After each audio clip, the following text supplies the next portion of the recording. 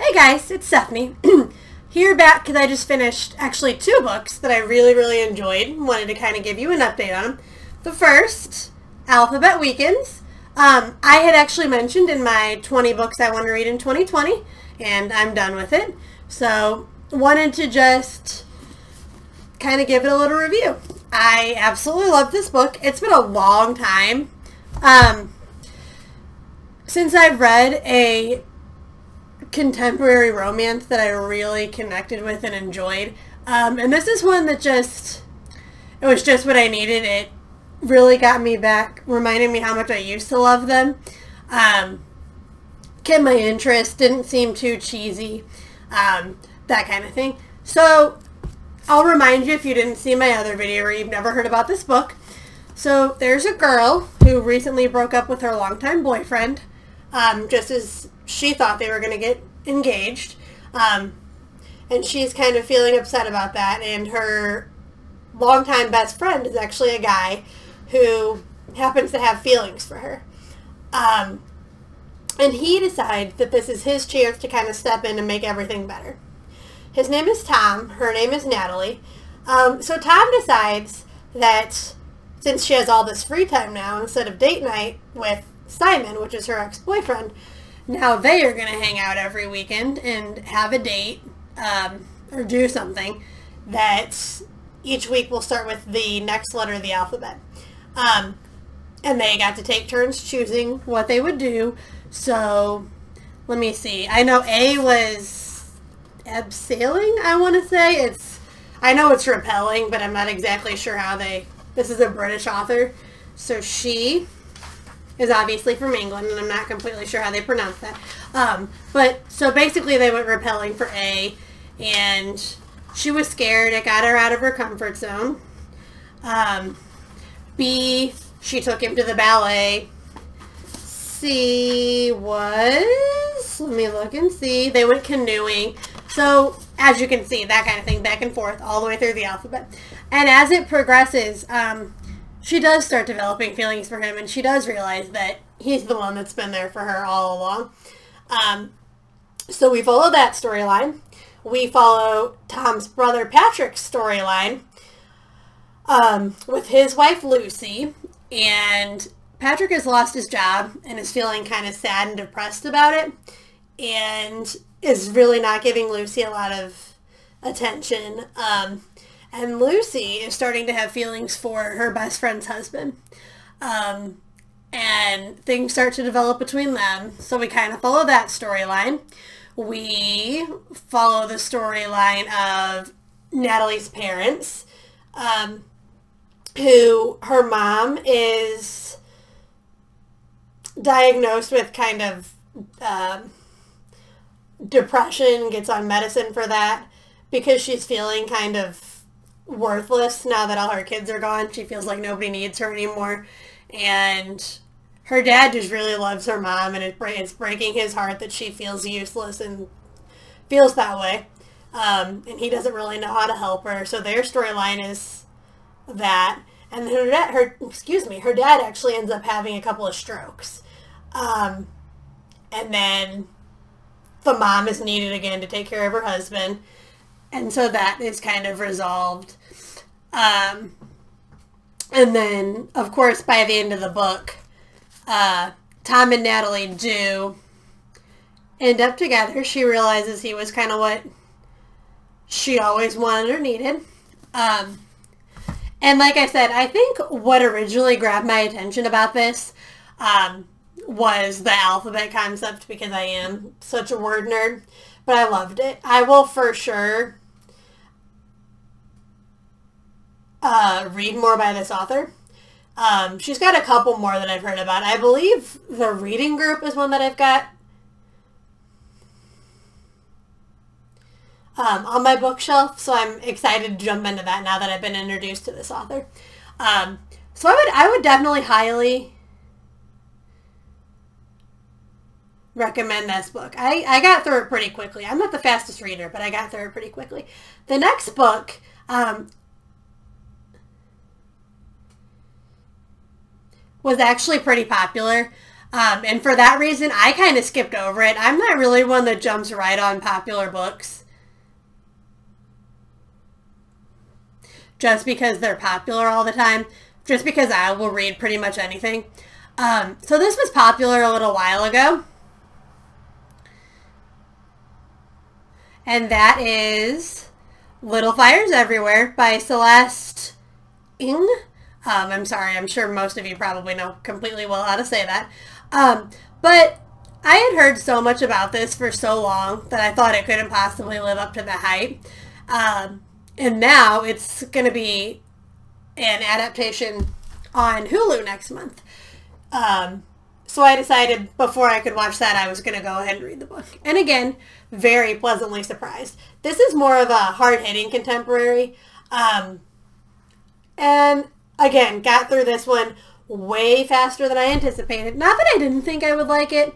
It just wasn't something that I thought I would fall in love with, but I really did. I couldn't put it down. I devoured it. Um, if you're not sure what it's about, there are a couple different storylines. There is a woman named Mia who is an artist, um, and she has a daughter, Pearl, and they travel around a lot. They don't have a lot of money because she is an artist. She's a photographer. Um, she takes pictures that are kind of weird. Um, she cuts them apart and does different things with them. Um, she does kind of time lapses of a bird corpse decaying. Um, she did, what else did she do? She took a picture of a flower and cut out the petals and replaced the petals with different materials at one point. Um, so she does different things like that. But because of that, each of her projects um, kind of takes her a really long time. So they don't necessarily have a lot of money. And she does a lot of odd jobs kind of in the meantime to make ends meet.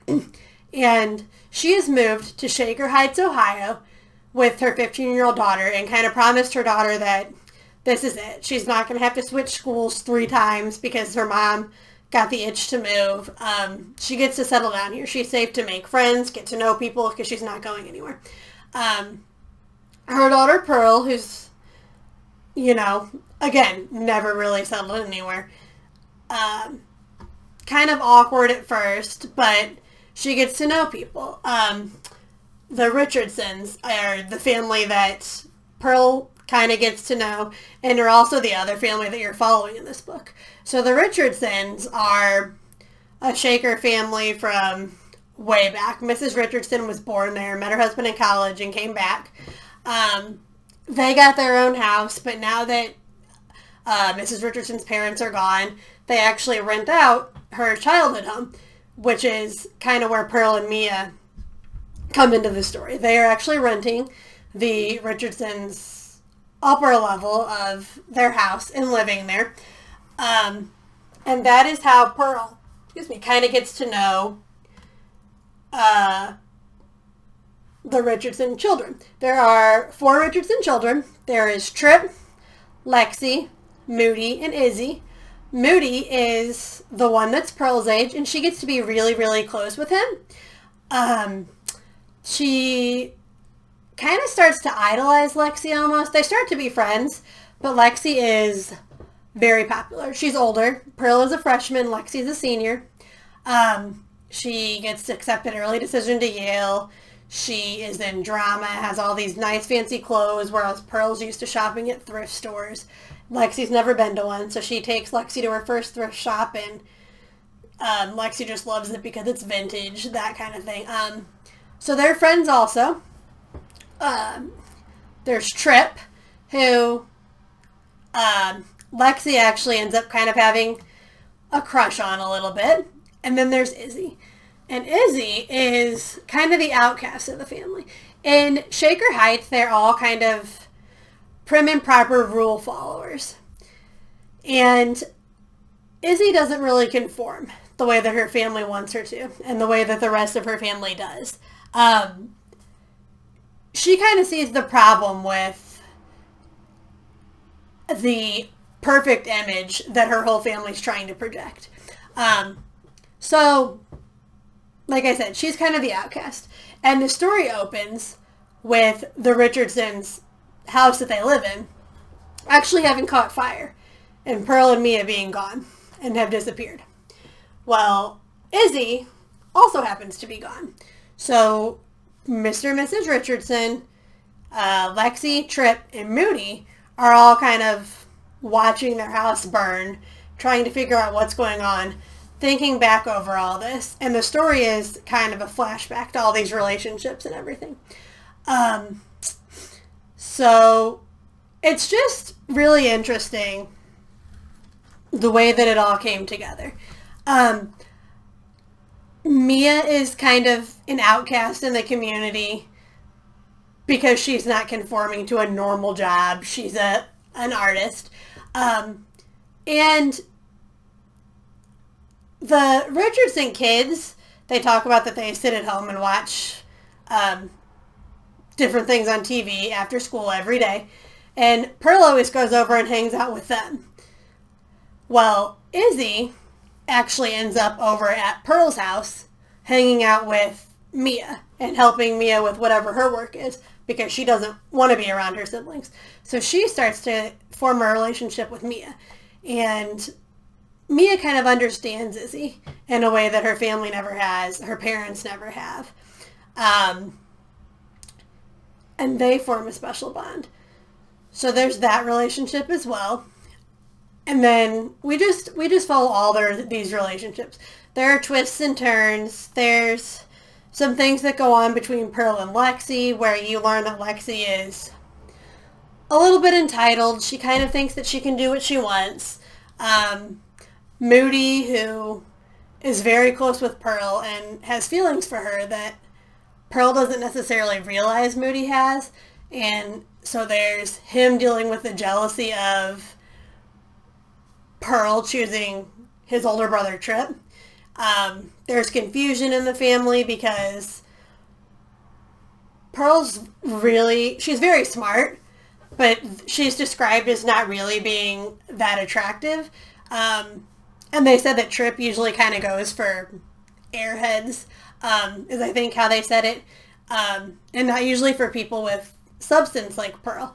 So there's a lot of kind of looking into that and exploring the ins and outs of the relationship and how things aren't always what they seem. Sometimes you have to take a chance, um, give up the perfect image that you think you have to follow or you might miss out on things kind of thing. Um, and the moral of the story or kind of the end game is Mia telling Izzy that sometimes you have to burn everything to the ground and start over, which is why there were little fires everywhere. Um, and again, I just, I love this book. So if you've kind of been on the fence about it, um, I wasn't necessarily on the fence. I really just wasn't interested at all. But if you've heard about it and have been thinking about it, I definitely would recommend it. I loved it. I got through it super quickly. And I'm very excited, like I said, to see what Hulu did with this show. So hopefully, at least one of these sounded good to you. Maybe you'll want to spend some time reading them. And other than that, you can like this video if you want, comment anything you're thinking, um, subscribe if you want to. Otherwise, have a great night, day, whenever you're watching this. I'll talk to you guys next time. Thanks a lot. Bye!